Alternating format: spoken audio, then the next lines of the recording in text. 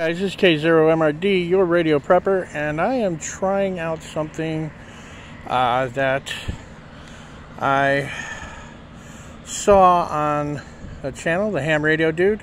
If you ever see this video, it works. I've got a 20 meter mono ham stick into a ground spike, and I will show you that uh, presently. One moment. This here's the ground spike. I saw it on Ham Radio Dude.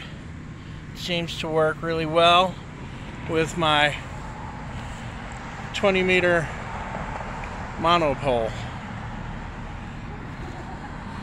And I will show you the radio that it's connected to presently.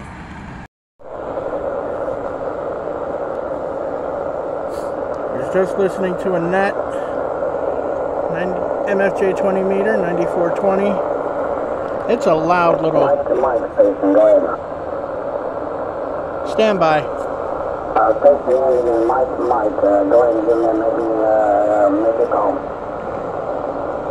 maybe. Kilo Zero, Mike Romeo Delta.